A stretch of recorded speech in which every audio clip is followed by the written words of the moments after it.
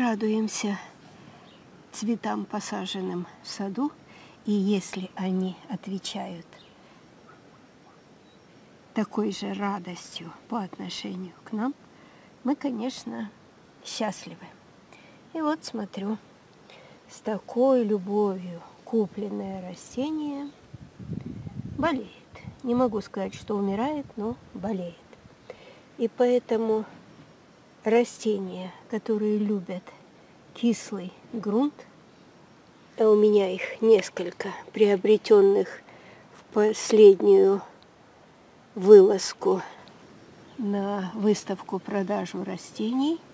Это леокатоэ, драмеда. Она начинает цвести, вот она ведет себя нормально. И покажу еще. Это вересковые. Не очень мне нравится, как они себя ведут.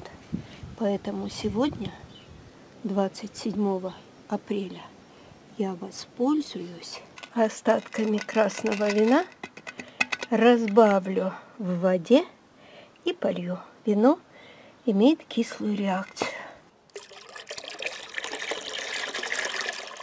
И теперь иду поливать эти растения.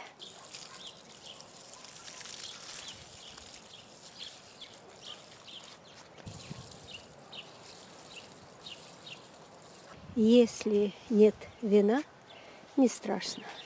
Есть лимонная кислота, разбавьте, полейте, и будет результат.